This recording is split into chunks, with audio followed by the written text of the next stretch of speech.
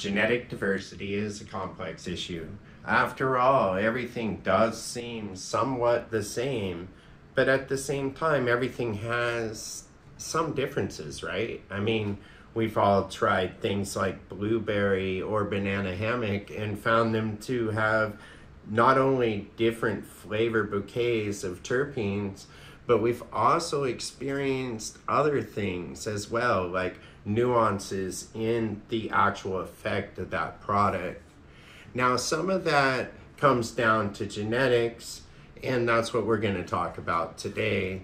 And a little bit of it is just kind of a history on genetics that we're going to talk about. So, I just wanted to touch on a few topics. Now, back in the day, I was allegedly involved in the production of the plant uh, plants for you know eager and willing participants to partake in. And you know there might have or might not have been some monetary compensation involved in that. But you know that's another story. And even if the DOJ is watching I just wanted to point out the statute of limitations has run out baby now I wanted to share something with you um, here is a picture from my past no one else has ever really seen.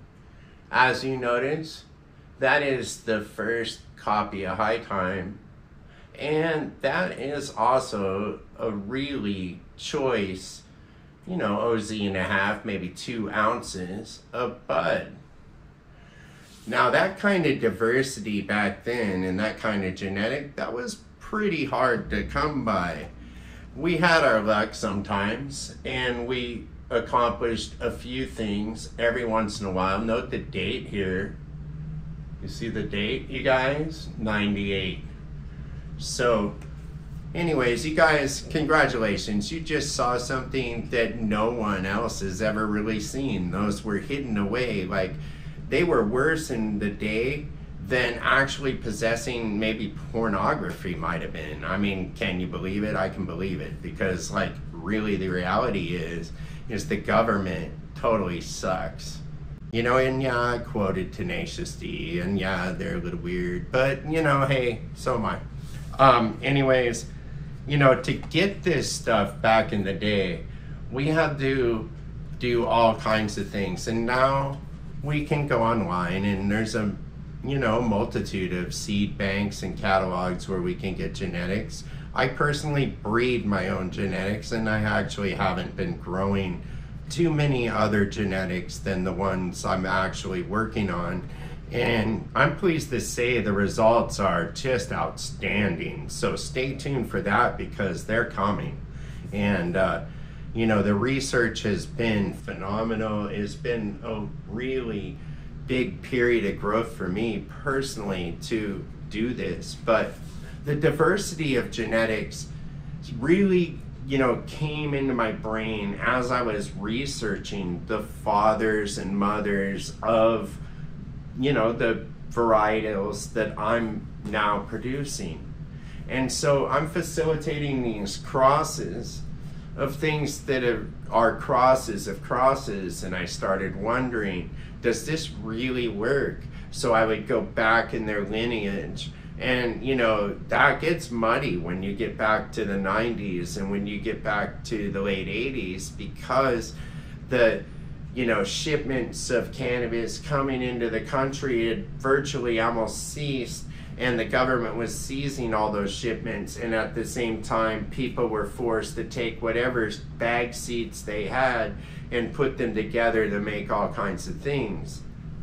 And out of those things, we did get things like blueberry, which you know DJ Short he he did a real you know thorough regimen, and he had a lot of thought behind his creation, which is why you know like his creations have lasted over time is because he's done such phenomenal work and I did see a video where he said about 80% of the things that he had tested that he suspected had his genetics in it did have his genetics in it.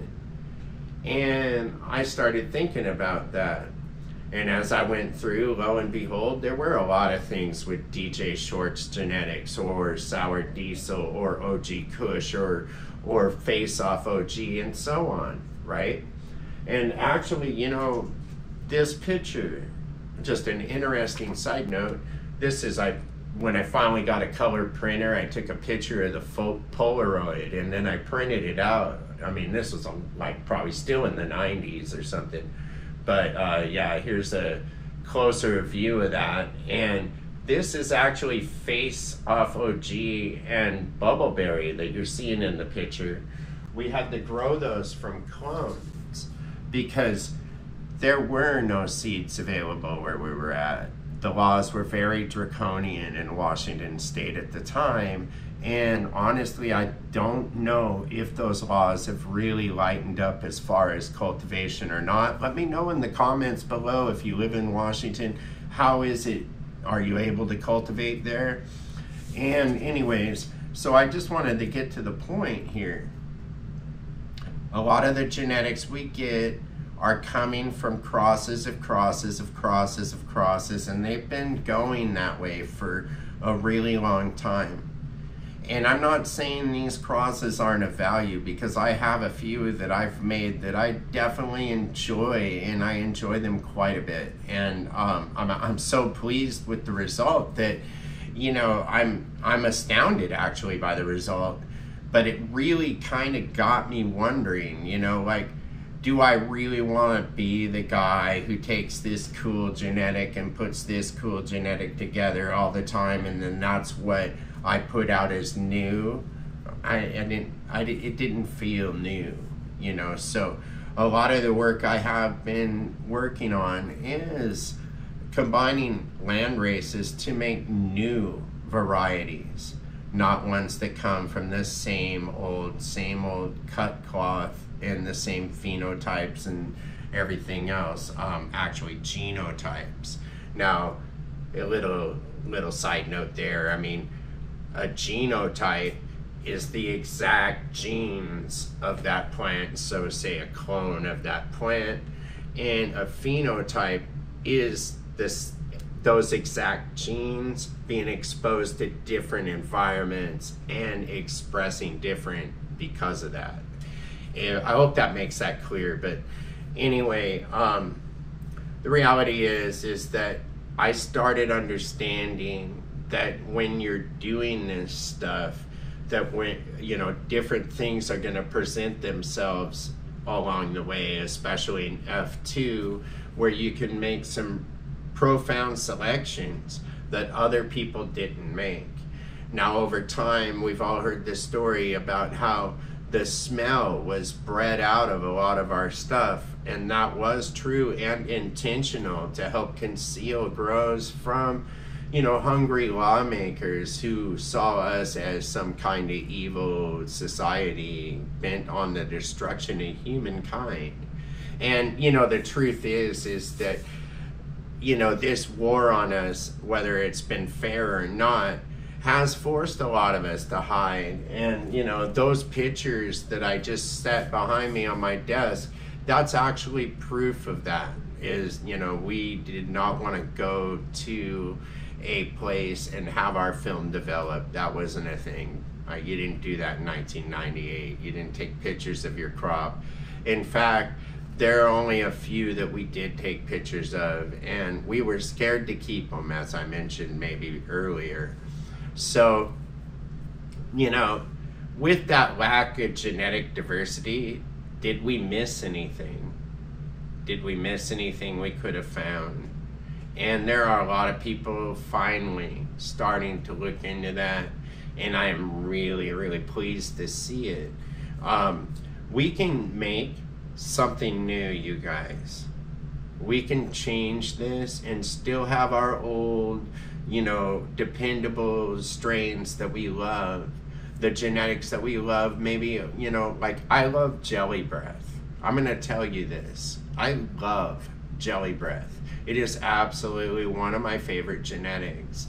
I love it because of the experience I've had growing it and because of the effect it gives me back. Now, you may have familiar genetics that you love. And I'm not saying to abandon them, but let's bring some new things into the fold. Let's bring some things into the fold that help power up that level of intensity and that level of pain relief or that level of yeah, uh, good humor really. I mean i like that giggly stuff. I don't know if you guys like that giggly stuff but i happen to love it. So you know i would like to encourage you guys to go out seek out some land races grow those puppies out find a good one and then find another land race that's a good one and put it with that and then sort through those and try to find some good ones. Put those together and try to make some good ones. And with that i've been dirk fender you guys. Put those plants together do something new and until the next time peace. I love you guys and party on